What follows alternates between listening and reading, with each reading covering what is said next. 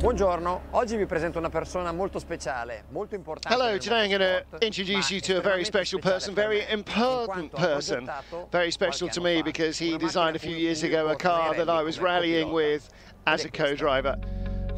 Punto Grande Abarth. seguitemi che ve la presento. Follow me. Eccola qua, vi presento Andrea Adamo. Andrea Adamo, of course, is the designer of the Castrol Honda team car. He designed the Honda Civic, but his job goes beyond that. He's also the project leader. And as he says, uh, coordinating the technical department, I have to establish the guidelines for the design. Racing cars a compromise between uh, different technical departments, their desires, their needs. The aerodynamics would like one thing, but unfortunately, you've got to put other things into a car like engines, radiators, wheels. So in the end, you've got to have a package that satisfies everybody as much as possible to be the most competitive it can be.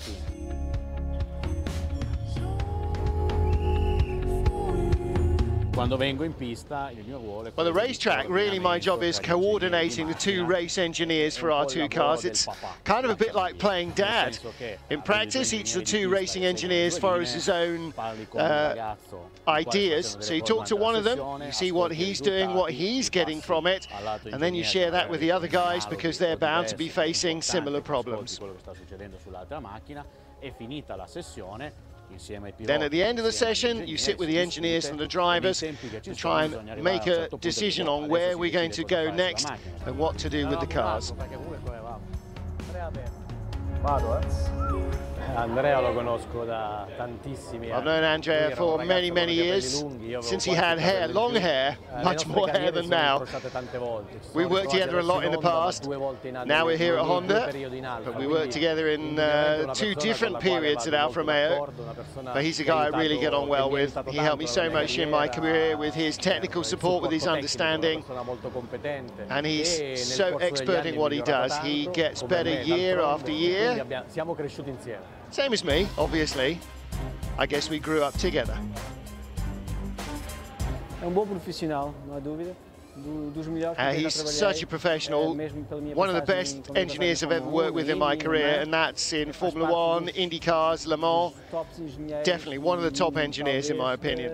Sim, que eu conheci até He agora. puts so much pressure on people. Sometimes uh, people see this as a fault, but for me it's a quality because he really motivates the crew, the drivers, the engineers, the mechanics.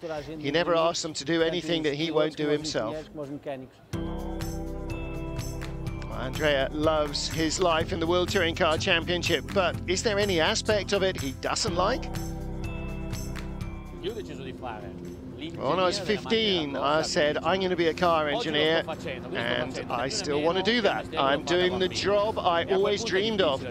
And when you do the job you've dreamed of, you can't see any negatives, you only see positives. È difficile trovare aspetti negativi. Thank you. Thank you. Ma keep pushing, keep pushing, keep pushing. Keep pushing. Vedi che un fatico. Faccio bene. Ha ha ha!